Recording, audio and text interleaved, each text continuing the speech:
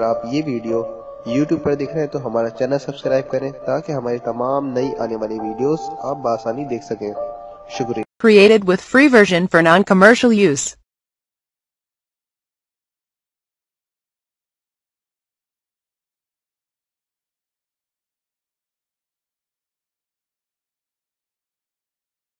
السلام علیکم ناظرین دوستو کیا حال ہے آپ کا؟ ناظرین بہت سے لوگ ہم سے پوچھتے رہتے ہیں کہ کس طریقے سے جلد سے جلد سکن وائٹ وائٹ کی جائے، کس طریقے سے سکن کی وائٹنگ میں اضافہ کیا جائے، کس طریقے سے جلد سے جلد رنگ گورا کیا جائے، کیا واقعی رنگ گورا کرنے والے ٹوٹکے جو ہیں وہ جلد سے جلد کام کرتے ہیں؟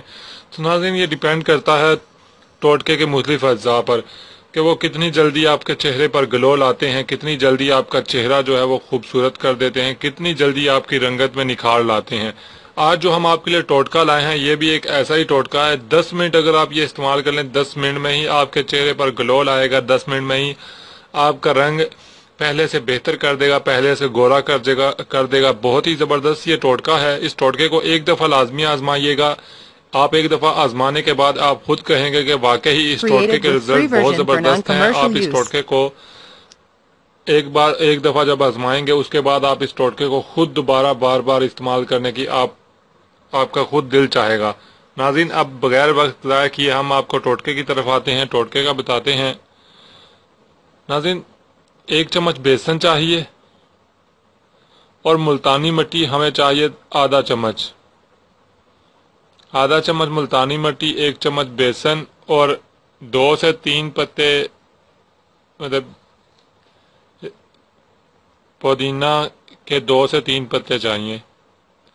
پودینے کے پتوں کو کسی بھی طرح ہاتھ سے بھی آپ چاہیں تو باریک کر سکتے ہیں اور اس کے بعد پھر ان کا جو مکسچر ہوگا اسے پیسٹ کی شکل دینے کے لیے آپ اس میں تھوڑا سا ارکے گلاب ملا لیں۔ اگر ارکے گلاب نہیں ملا ہے آپ کے پاس، آپ لیمن کا رس ملا سکتے ہیں، لیمو جوس ملا سکتے ہیں۔ آپ اگر وہ نہیں تو پانی ملا ملا سکتے ہیں، آپ دودھ ملا سکتے ہیں۔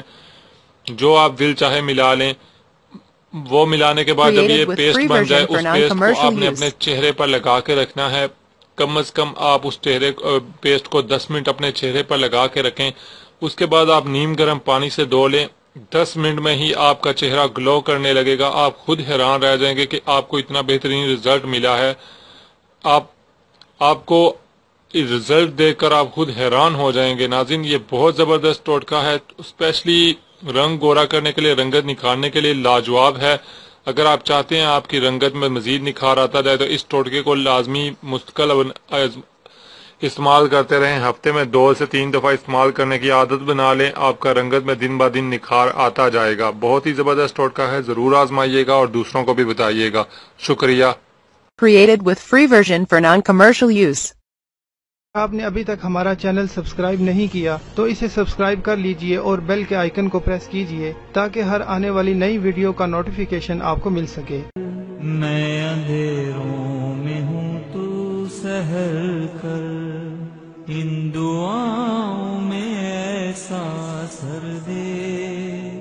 رب کعبہ مجھے معاف کر دے۔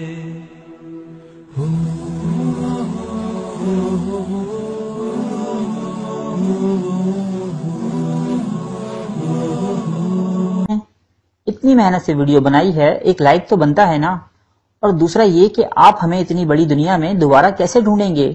تو اس کا حل یہ ہے کہ آپ ہمارے چینل کو سبسکرائب کر لیجیے اور اس بیل کے آئیکن کو کلک کر دیجیے۔ اس طرح ہمارے آنے والی تمام ویڈیوز آپ تک پہنچ